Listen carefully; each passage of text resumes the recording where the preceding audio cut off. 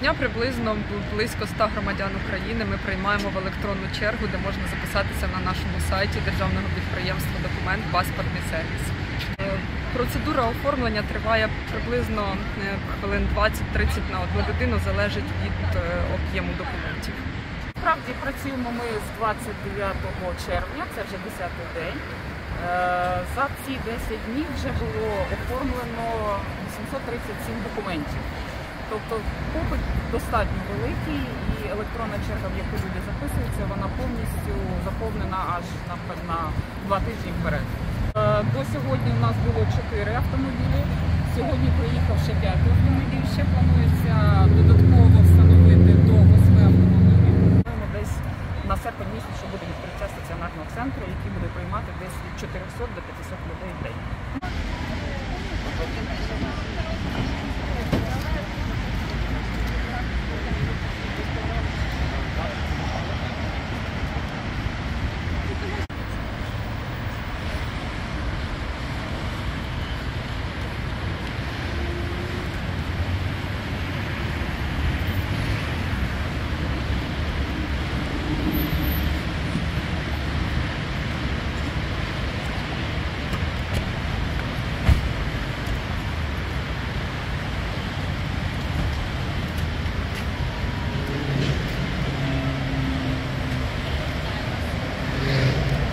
Доброго дня.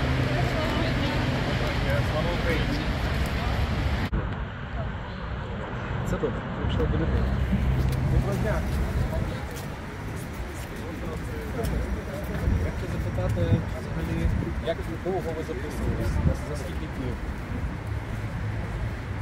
За день, за два, за тиждень, за не знаю, за час. Чи Це е, називається удача в житті, знаєте, записатися. Взагалі життя це удача. Так, так, так. І записуватись також це удача. Знаєте, рулетка така Ну, називається. на увазі, що далі записатися встигнути чи як? Стиг, так. Бо щойно немає, тут є. Або навпаки. І Як ви- коли вас Даша втрапила сьогодні? Під ранок. Зловили удачу під ранок. А ловили скільки днів? Напевно, з півтора тижня. Ну, ми тільки працюємо Так. десь півтора тижня, да, якраз десь. Так, 10 Але розумієте, що люди від цього стресують, е, тому що не близький путь сюди добратися, і людям важко. І ви маєте на увазі, що не можна записатися за, за От півтора, півтора тижні я е, атакувала е, вночі, вранці, вечором, без різниці, коли атакувала. Скажімо так, трошки доходило до такого ненормального, але атакувала. Але то важко. Ну, тому що попит набагато більше, ніж можна Так. забезпечити.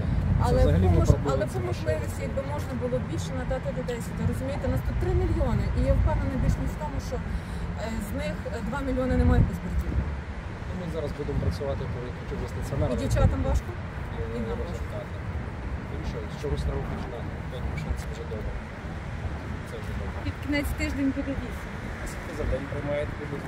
Десь 100 людей, навіть вже два дні приймаємо 114-115 людей. Ми е, вивчали попит на цю послугу, і ми розуміли, що це одне з питань, яке постане перед нами в перші дні після широкомасштабної збройної агресії Російської Федерації, тому що е, кількість мігрантів, які виїхали з України, вимірюється мільйонами. Дуже багато залишалось саме в Польщі. Громадяни перебувають е, сьогодні в Польщі. Звичайно, люди їхали дуже багато без документів. В багатьох були втрачені або знищені документи.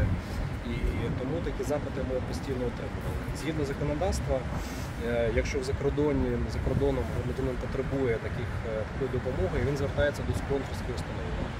Але коли ми вивчили кількість таких звернень, вони ну, в сотні, не в десятки, в сотні разів перевищили спроможність е, консульських установ задовольняти е, ну, власне такі послуги надавати такі послуги.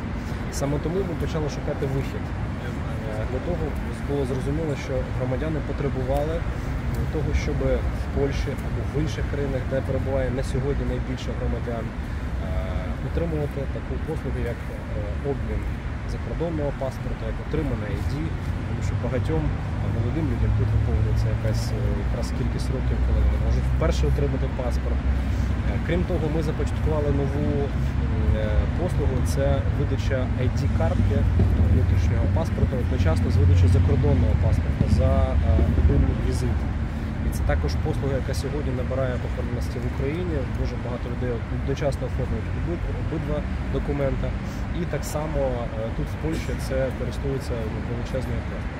Зараз тільки ми можемо казати про попередні підсумки, тому що е, власне ці мобільні офіси діють трохи більше 50 днів.